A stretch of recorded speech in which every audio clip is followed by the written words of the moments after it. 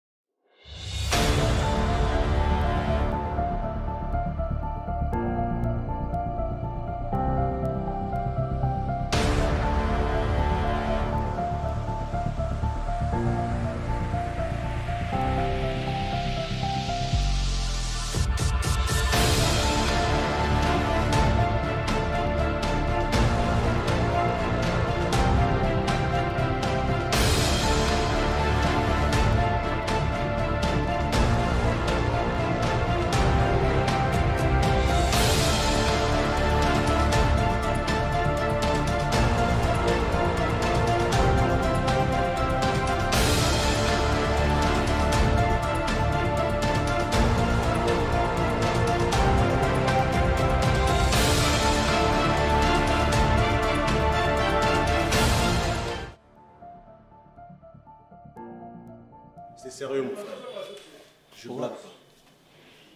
nayebisi yo la personne oyo azalaki na chambre wana eza mama prophétese oyo akabolanga na bellevue Eh, je te jure sur la tête de mon Dieu. Donc, Dieu m'a tant parlé. Oui, que ye ayaka ne awa ayaka ne awa pamba ayaka déjà déjà pamba pamba ah donc pamba pamba donc ye mpenza aza mpena cliente na biso ya awa mais mon cher c'est l'occasion pour moi vraiment c'est l'occasion moi moi suis là à kabola na moi sina linga makasi na vie donc ako tika akende boye ti donc mona mama prophétesse na congo ayaka nde na tanzanie kosaba vie na ya salite awa et malheureusement pour elle ngai nde mona zwi eloko ya mwasi écoute mon cher tu dois m'aider nayebi koza gérant ya awa oyaki na ngai mpo na business soki yo aide nga te na korealize lokola te pour réaliser ça yo nde fo aide oyebi ke ngai nalingaka toujours bonheur na yo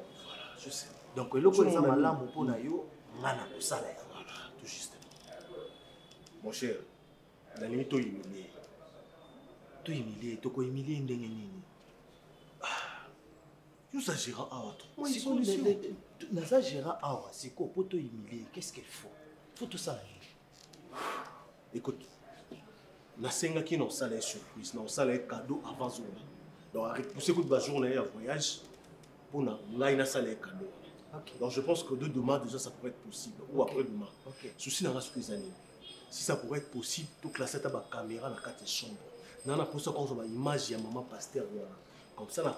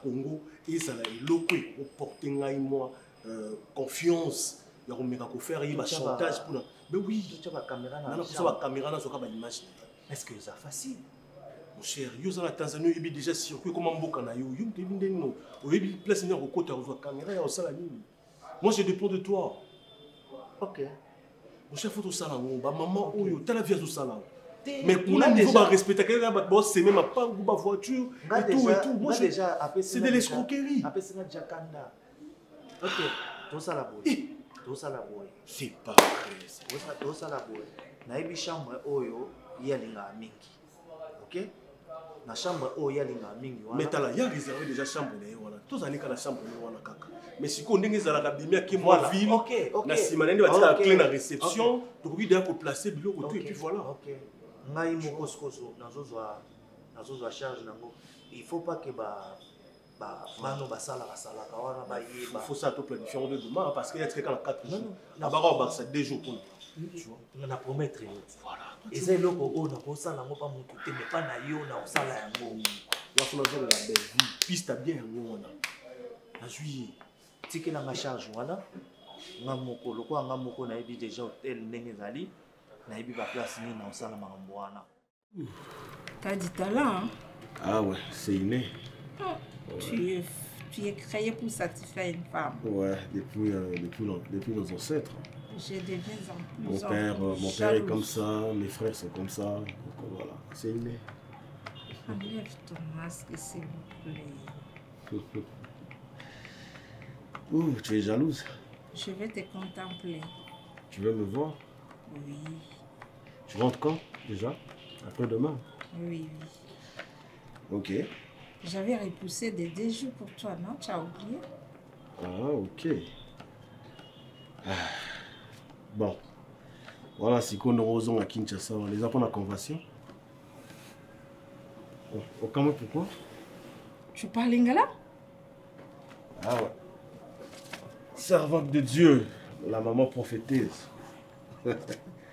okamwe nde nalobi lingala tu m'as surpris ah ouais parce que je suis de la rdc hein?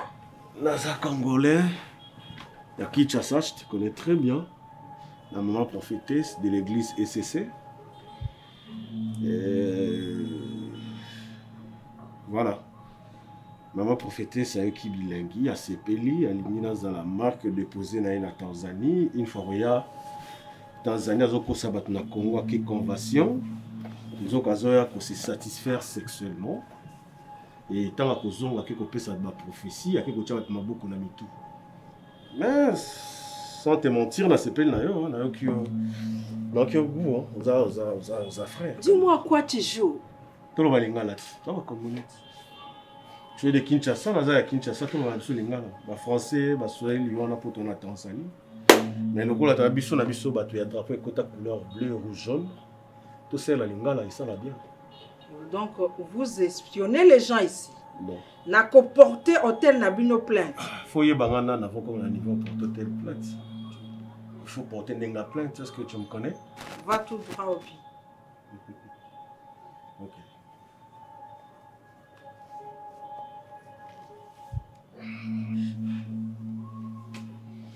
Maman prophétise,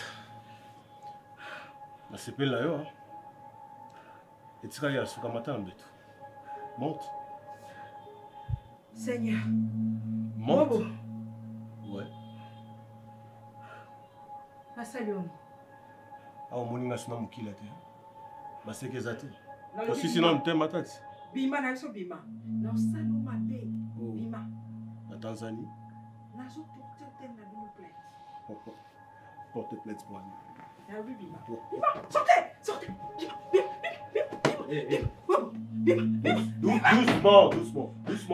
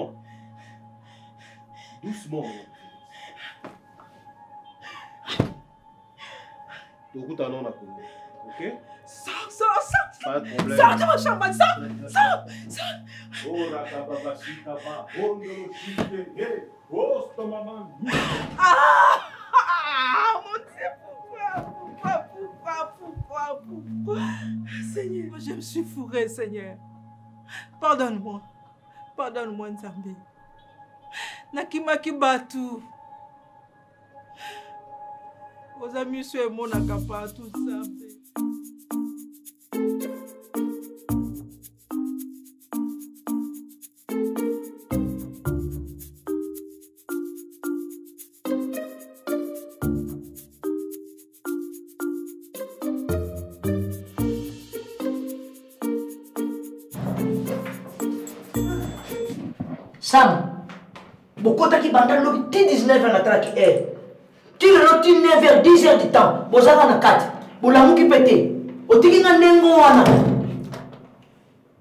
sam naoza banda yo te mpo aza na mwasi na ye soki ye amelaki lodokasi ngai mpe nazalaka na chambre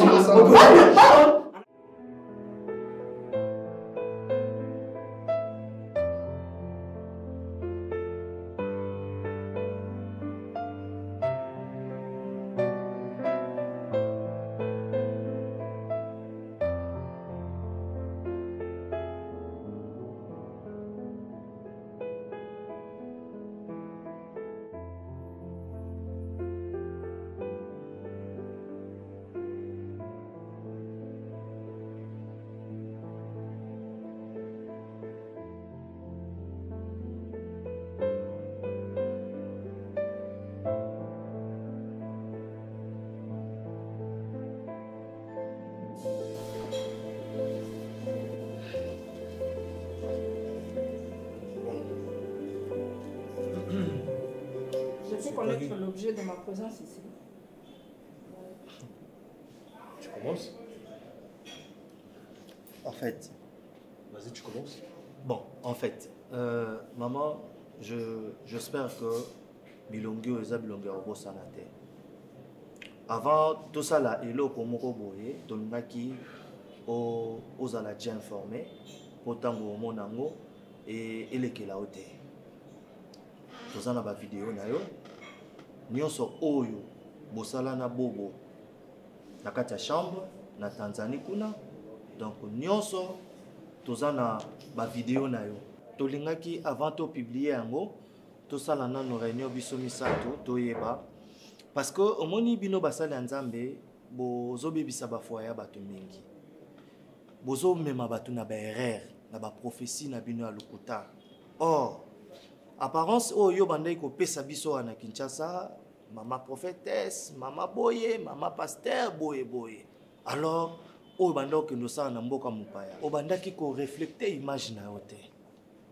donc lokola biso toza deja na bapreuve na yo toza deja na bavideo na yo donc tocomprendre déjà que euh, okosaka basali okosaka bandimi obebisa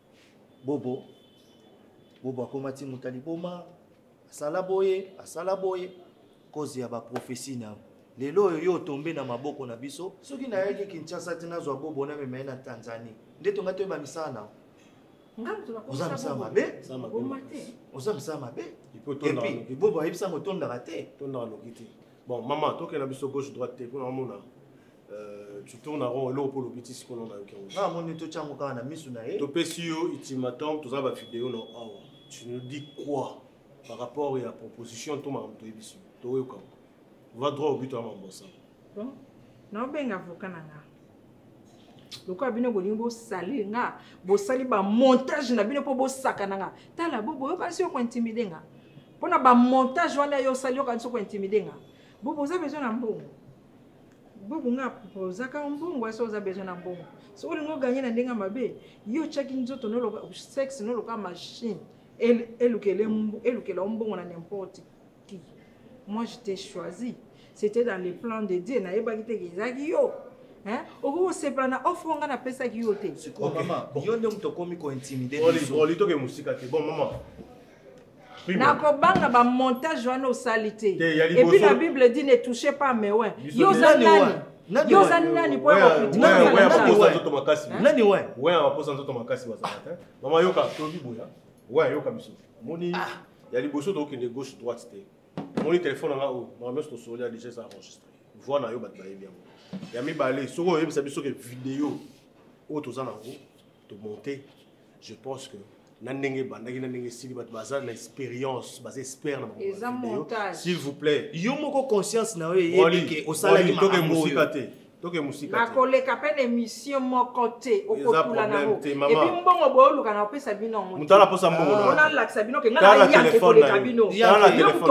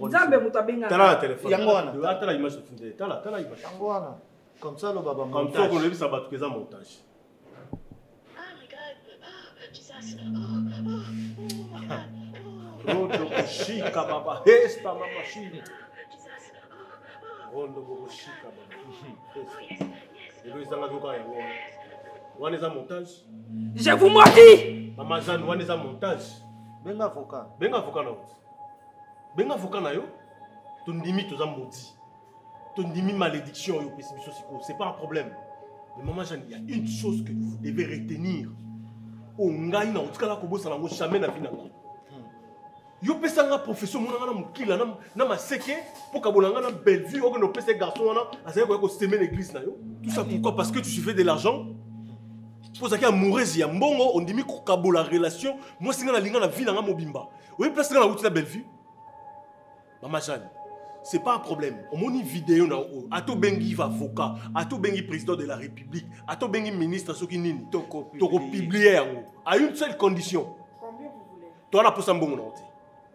So lingi mama Jeanne. Hier ba donc kanzandi et tout ça. Vraiment sérieux. Toi la posa mbongo. Toi la posa mbongo na ote. To lingi ndeto sokisa makambo na kamna sika na. Donc le bar sur le thé, les points sur les i. Mm -hmm.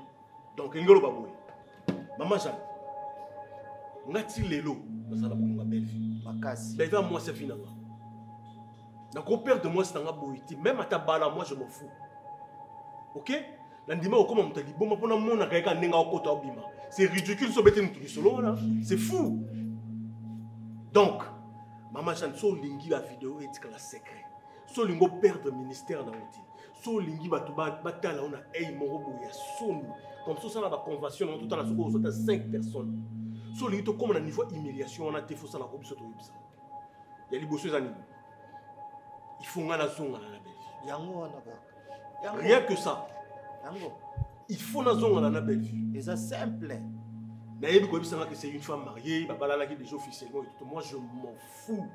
Hmm. Vous comprenez Je m'en fous, je m'en fous.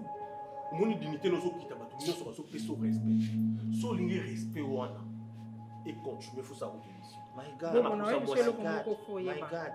malgré faiblesse na nga naza mosali na nzambe ah. soki nasali mabe tika nzambe apinie ngaokomona nzambe na nga na nzela na yo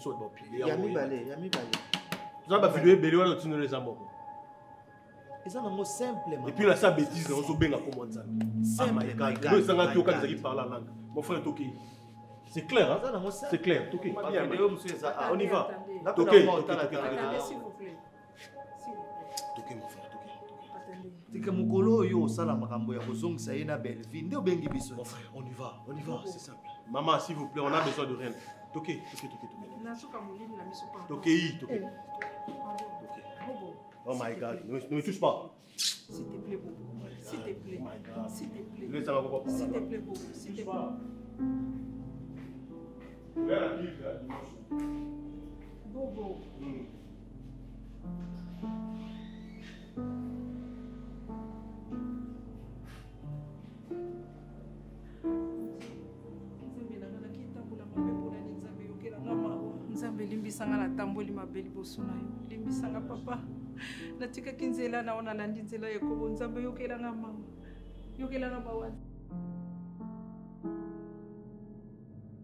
makambo nyonso tu te nde biso basali na nzambe tolobaka oyo ebombama eza ya nzambe oyo efungwami eza oyo nzambe apermetre bayebisa biso oza mwana na ngai okoli na sa makolo na ngai soki omoni ngai natelemeli likambo boye seke likambo eza meme bato ya mokili balobaka nya pas de fume sans fait euh, tozo passe na basigne de temps moko donc oyo eza très difficile surtout pour moi toi tu es ma fille okolinga te lelo ngai nalela esengo na ngai ewutaki epa na yo nde mwana na ngai nabondeli yo yokelanga mama na yo zongela mwana na boye s'il te plaît oza mwana ngai me na mikitisi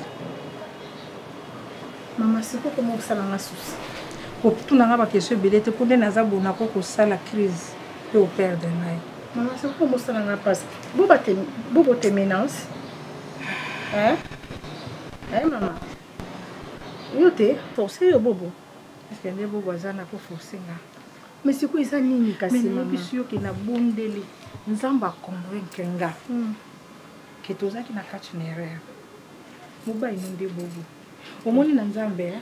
malamu ose repentir obongisa erreur ke natika yo kaka na kati ya mbeba mwana ngai siko nauti oyebisa eloko moko na bando olinga koyebisa te mama mama ngai nakoli na makolo na yo naomona ndenge nini ozopesa bato bamessage baprophesie nakoli epa na yo mama prophesie oyo nalinga omar nazwi yango epa na yo sikoyo nazo comprendre te mama du coup décision wana ozwi ozwi prophétie mosusu naza mwana na yo je ne refuse pas nga nakoki jamais mama na nga soki lelo naza na kati ya bonheur eza parce que yo opesaki nga prophétie soki opesaki nga prophétie yana te mama na nga na se retrouve na bonheur oyo te epuis nga mpe na se retrouve nsima na yo omarakabelaka nga mbongoeske moto ako kobebisa esika abikaka mwana na yo sikoyo oyebisa ngai mama problème na ngai eza nini Mama, omoni Nzambe eh?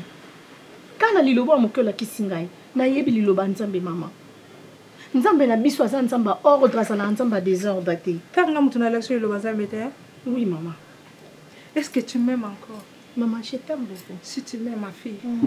obéis sans me poser beaucoup de questions. C'est on a solo baté. Faire une factrice ndengo mwana na fadi. Mama nzambe na biso to sambela ka nzambe oyo sambela ka nzambe oyo la kisanga wana.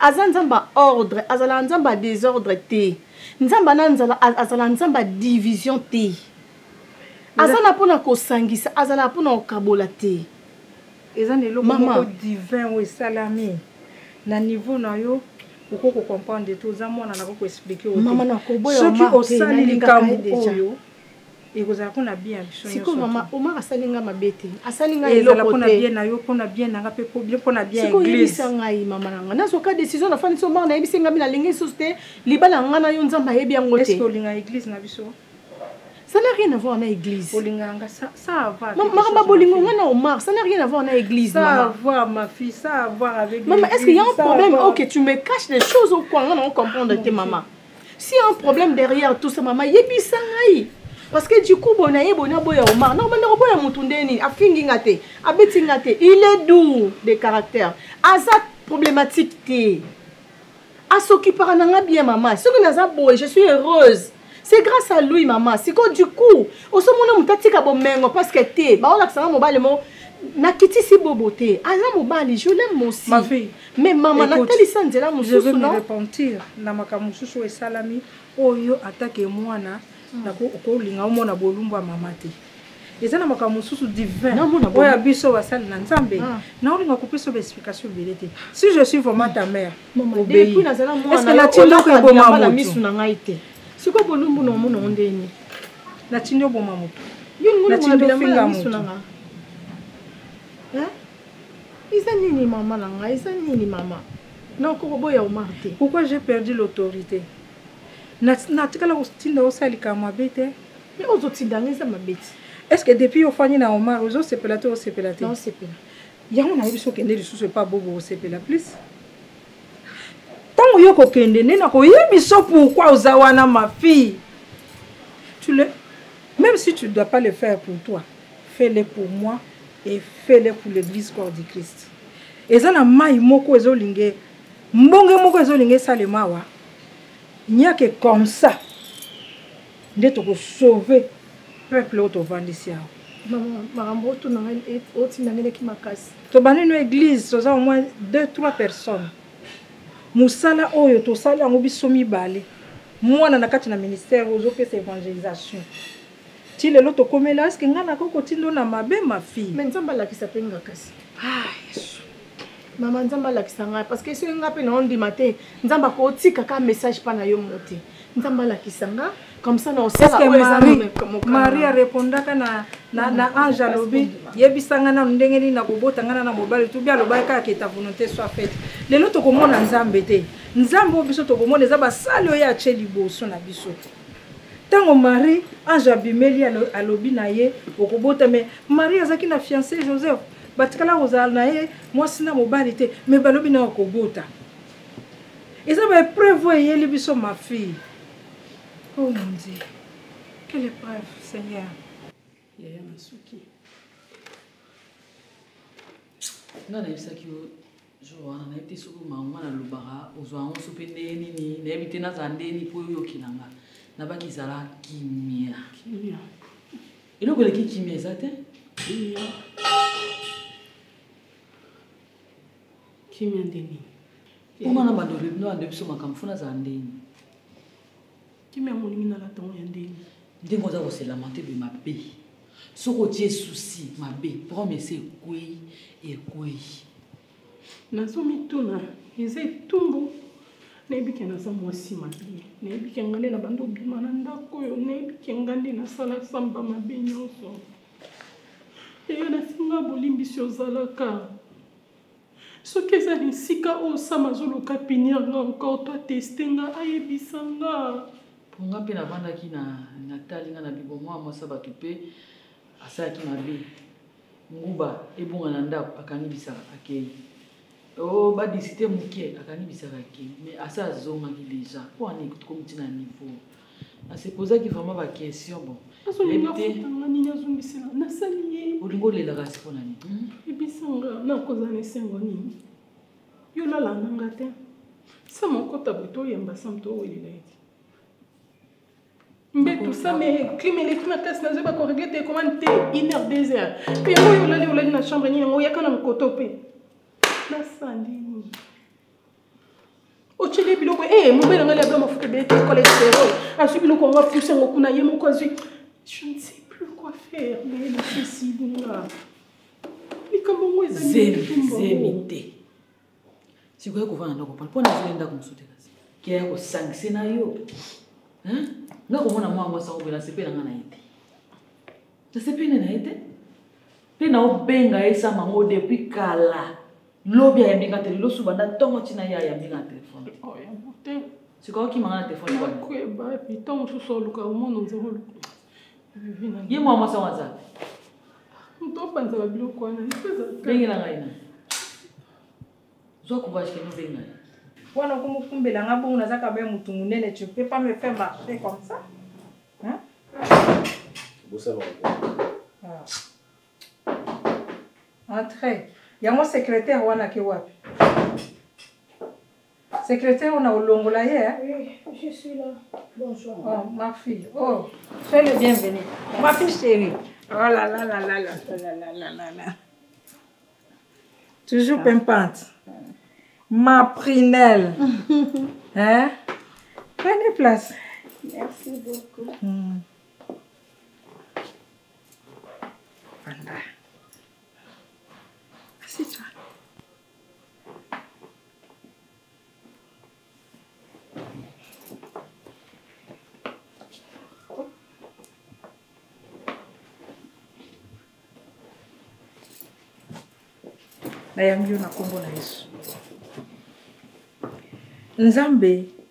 aza, aza nzambe ya bileko mpe ya bangonga ezalaki na moma moko oyo nzambe abanda kotambola na moïse eye kokoma ngonga moko nzambe akoma kotambola na josue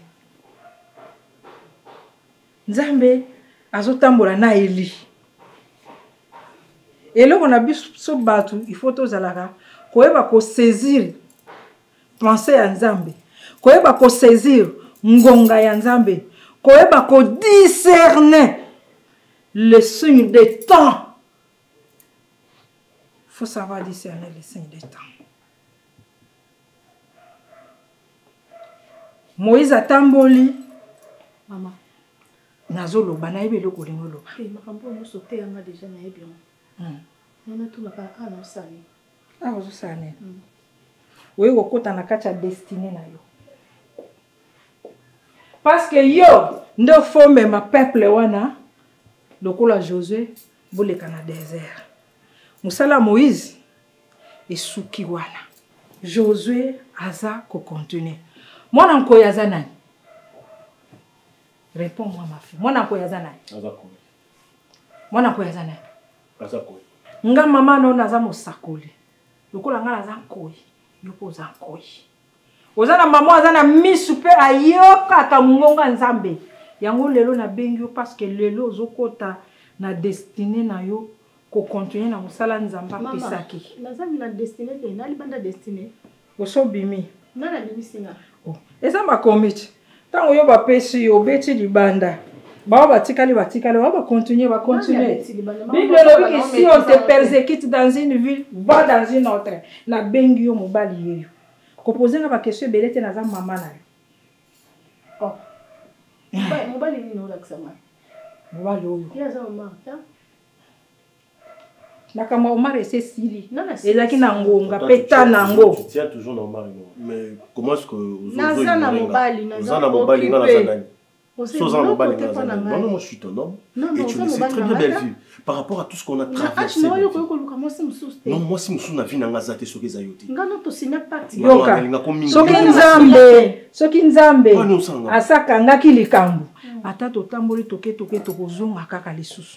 nauti oyebi biso likambo moko monene ngai bito obandaki na moïse ntango asuki josue acontinue josue yeyo eh.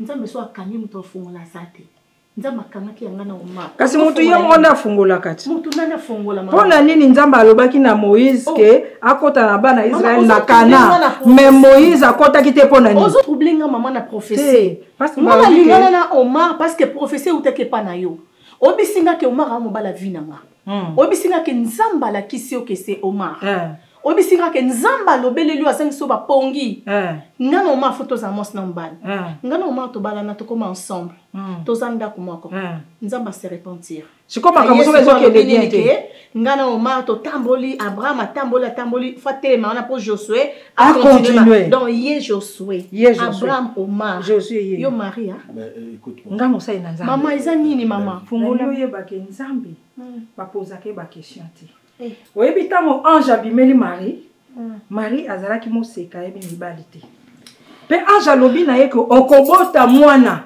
yanga nini na professeur marie alobi ke ke ta volonté soit faite biso nyonso tomonaka ke marie aye kozwa zemi mais sans passe na nzela mokoyango omoni bamakambo ya nzambe kolinga ojustifie yango na bapense oyo ezali imene te kolinga komemisa ngai ngambo na nzambe te mpo ngai nayoki mongongo ya nzambe yango naye epai na yo ezekiasi bayebisaki ye ete akokufa me ntango ake liboso na nzambe ebongwami babakiseli ye bambula bakestion wana tuna yango nzambe ngai na mosali na nzambe naza mama na yo mpe nalobi na yo ke nzambe alobi zonga na samba kuna mwa mobali oyo eh.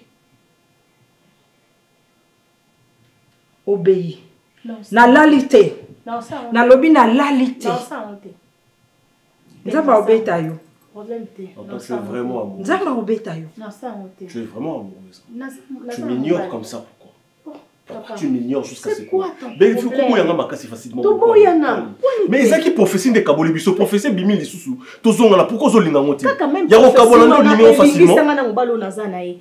asali nga eloko te siko nzambe kasi alobi boza esusu ah. incompatible te nga nde mobala vino mais pourquoi tu n'arrive pas yende jojo ye nde akokotisa peuple na kana ma fille est ce que tu m'aimes est ce que oza na mposa komona nga kaka na bomoi mwana na ngai te batunaka marie atunaka te ange mpona nini nga na ya kobota obei mafi nga nde nasololaka na nzambe nga mutu na mutu nayambisa yo yesu nga mutu na bezo bafamisma nakolisa okomi mosali na nzambe nasolola na yesu kokasi mama alobaki obai nani moïse hmm. moïse amebi bana israel atamboli na bango atamboli bango nzambe alobi suka wana josua asala nini a continuer ok donc omar aza moïse yo oza josue yo mpe faut ocontinue ocontinue na yo yo nde peuple ya israel eh, nga sikoyo bana bozokota nde na kati ya mabele lata esika elemi eh, elekokita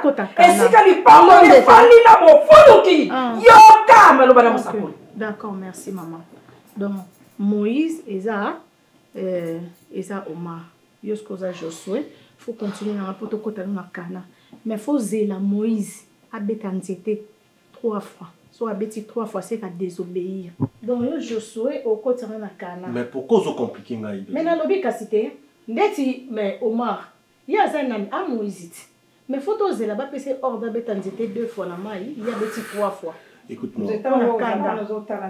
Mais c'est quoi ton sang Mais toi tu avais obéi à, à, à, à, ta, à ta maman prophétesse là. C'est bon. Il y a autre kabonat. C'est quoi Mais bah pêche sous prophétie monsieur pourquoi tu n'arrives pas à laisser l'autre Non, on te prend les deux fois. professeur toro olingi yango te professeur liboso eye fo obalana na moto wana nake nabalani na moto wana na zazazaza na moto wana tofani na moto wana après nakolakelo mabe naza mama na nakosala yango te komitungisama te nakosala yango te nazongana na bobo te na osala yango te naada na profesi ya liboso esi na obeir nango naza nango na ogarde yango ya mibale eza yanga te seke bochange nango moto mosusu bokoluka mpe mwasi mosusu bozoka profesi na bolatisi ye mbala moko babalani bango mibale ngai naza joki mpe babala na ade fois te